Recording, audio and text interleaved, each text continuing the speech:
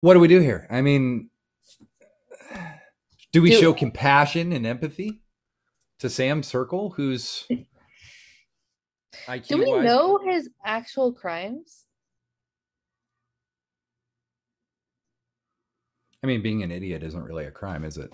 No, I don't think so. I mean, do you think he was really in Space Force? I mean,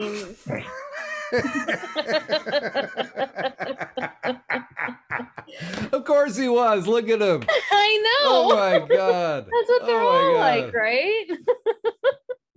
Um, Hmm. what do we do? I mean, we could at least hear him out, maybe. Uh,